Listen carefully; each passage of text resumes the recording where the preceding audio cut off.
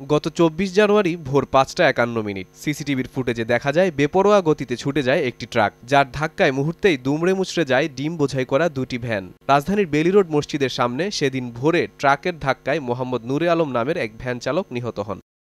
সম্প্রতি ডিম বোঝাই করা দুমড়ে মুচড়ে যাওয়া ভ্যানের ছবি সামাজিক যোগাযোগ মাধ্যমে ভাইরাল হলে বিষয়টি নজরে আসে প্রশাসনের। তারই ধারাবাহিকতায় র্যাবের অভিযানে গতকাল রাতে চট্টগ্রাম জেলার চাঁদগাঁও থেকে সেই ঘাতক ট্রাক চালক মোহাম্মদ জসিমউদ্দিনকে গ্রেফতার করে র্যাব।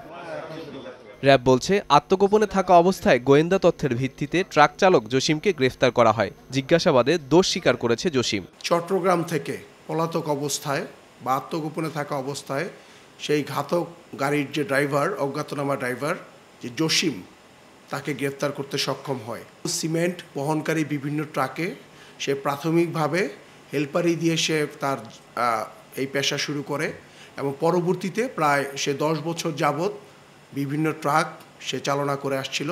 নিহত নুর আলম রাজধানীর কামরাঙ্গীরচর সপরিবারে থাকতেন। সে ট্রাকের ড্রাইভারি করতো। হাসিবুল হাসান সময় সংবাদ ঢাকা।